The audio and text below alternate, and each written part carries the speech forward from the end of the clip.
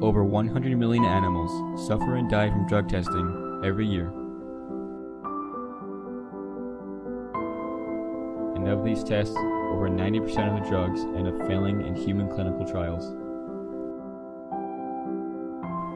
This means many animal lives, as well as billions of dollars, are wasted during the current drug testing process. However, over the last few years, new technology has been developed which could revolutionize the way we do drug testing. Zero animal lives would be lost, less money would be spent, and better drugs would be developed at a faster rate. And all of this could be accomplished by just one single invention.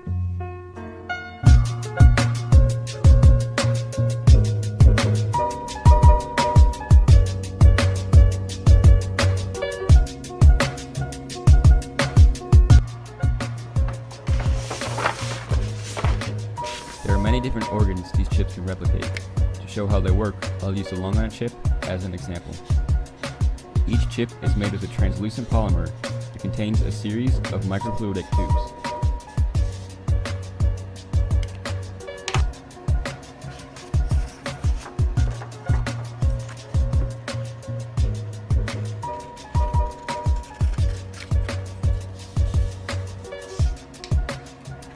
Inside these tubes, there are multiple layers.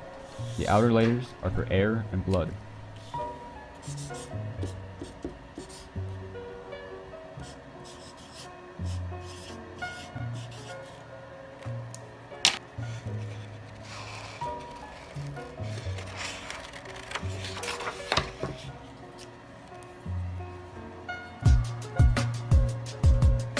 Then there are layers of lung cells and capillary cells.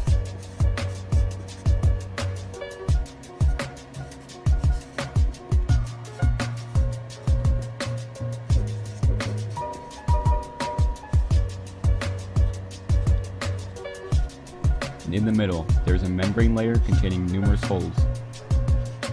This allows white blood cells to pass through and kill the bacteria on the other side, in simulating infections.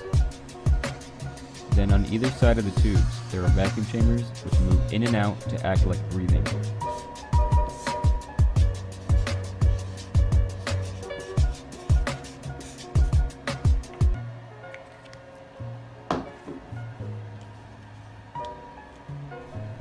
Lot of the success of organs on chips has been achieved by Wyss Institute and Mimetas, although there are many other people working on them.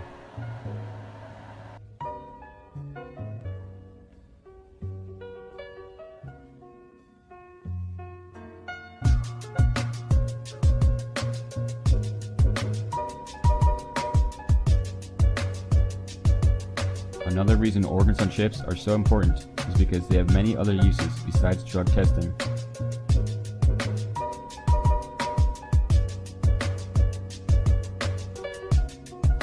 Putting multiple different chips together can form entire simulated human bodies, which can be used to learn how different things relate and affect one another in our bodies.